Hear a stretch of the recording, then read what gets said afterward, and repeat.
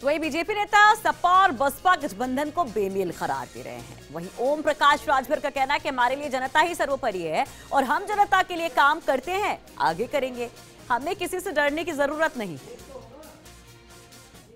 देखिए, कोशिश तो ज़रूर सारे मिलकर के कर रहे हैं, लेकिन सफलता उनको इसलिए नहीं मिलेगी कि जिसका लक्ष्य, अगर उनका लक्ष्य ये होता कि हम हिंदुस्तान को दुनिया में विशेष स्थान दिलाएँगे। हम हिंदुस्तान से गरीबी मिटाएँगे, हम हिंदुस्तान से भ्रष्टाचार मिटाएँगे, हिंदुस्तान के जरूरतमंदों की ज़रूरत पूरी करेंगे।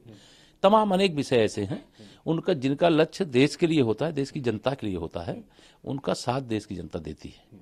उनका लक्ष्य केवल किसी भी तरीके से केंद्र में, वो सरकार में आ नहीं सकते, उनको मालूम है, वो क्षेत्रीय पार्टी है।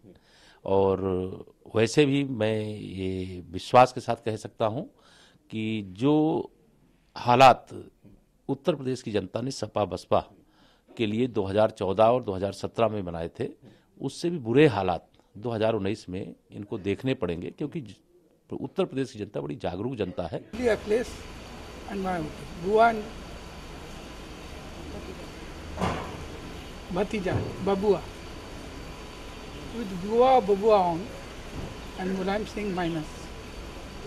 The spinal cord and real strength of the caste politics, I will be more categorical. The Yadav politics will be minus from day one and the spinal cord of the entire organizational structure is super is upstate and bitterness and acrimony is at a level जनता ने हमको चुन के भेजा है हमारे कहने पर सवा सौ सीट जितवाया है पूर्वांचल में तो हमको भेजा है लड़ने के लिए कि भगेड़ू भागने के लिए?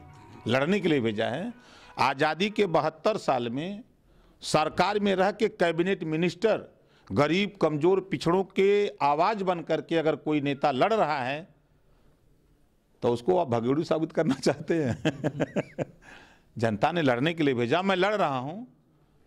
हिम्मत नहीं है किसी के पास सच कहने की। सच कहना अगर बगावत है तो समझ लो ओम प्रकाश, राजभर बागी है।